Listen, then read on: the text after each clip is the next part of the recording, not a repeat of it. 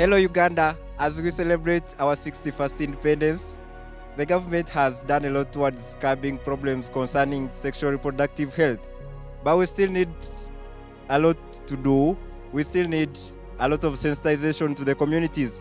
Let us reach out to the young girls and boys out there and provide them with information about reproductive health for the betterment of Uganda.